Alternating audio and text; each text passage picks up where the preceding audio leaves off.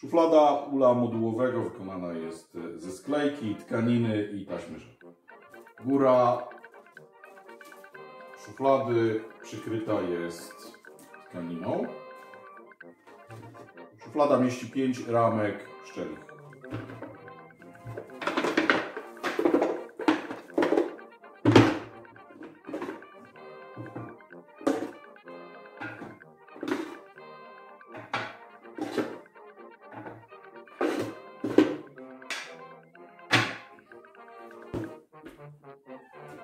Na długich ściankach szuflady są okna, które także zasłonione są tkaniną na taśmie rzep.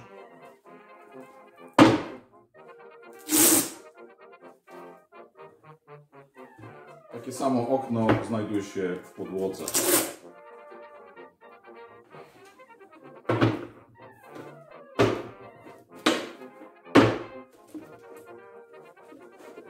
Krótsze ścianki przenoszą ciężar ramek pszczelich. Może być to nawet do 25 kg.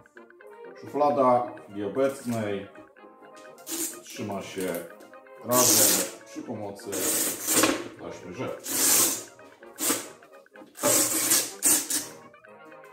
Górna taśma i dolna taśma.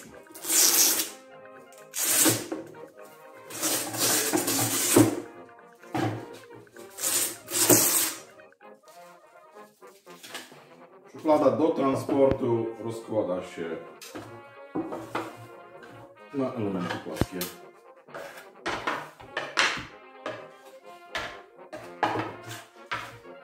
Thank